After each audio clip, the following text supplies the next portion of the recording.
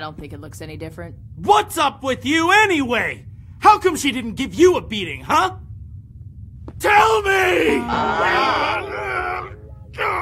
Maybe because I'm cute. Come on!